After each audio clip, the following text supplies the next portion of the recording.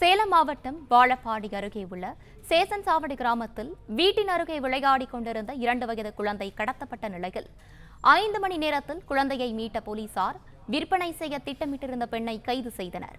இது குறித்த கூடுதல் விவரங்களை செய்தியாளர் ரமேஷ் வழங்க கேட்கலாம். ரமேஷ் வணக்கம். விவரங்களை பதிவு பண்ணலாம். வணக்கம். சேலம் மாவட்டம் வாழப்பாடி அருகே இன்று காலை ரெண்டு வயது சிறுவன் கடத்தி செல்லப்பட்டான். இதனையடுத்து தனிப்படை அமைக்கப்பட்டு ஐந்து மணி நேரத்தில் சிறுவன் மீட்கப்பட்டிருக்கிறான்.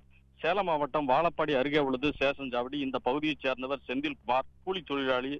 இவரது இரண்டு வயது மகன் இன்று காலை ஒன்பது மணி அளவில் வீட்டருகே விளையாடி கொண்டிருந்திருக்கான் அப்போது திடீரென சிறுவன் மாயமாகி விட்டான். உடனே பெற்றோர் சிறுவனை கண்டுபிடித்து தருமாறு வாழப்பாடி காவல் நிலையத்தில் புகார் செய்தனர். இதன் பேரில் வாழப்பாடி டிஎஸ்பி ஹரிசங்கரி தலைமையில் தனிப்படை அமைக்கப்பட்டது. இவர்கள் தீவிர விசாரணை செய்து இன்று பகல் ரெண்டு மணி அளவில் சேலம் ஐந்து ரோடு பகுதியில் வீடு ஒன்றில் இருந்த இளம் பெண்ணையும் குழந்தையையும் மீட்டனர். பின்னர் அந்த பெண்ணை பழனியம்மாள் என்ற பெண்ணை கைது செய்து விசாரணை செய்து வருகிறார்கள்.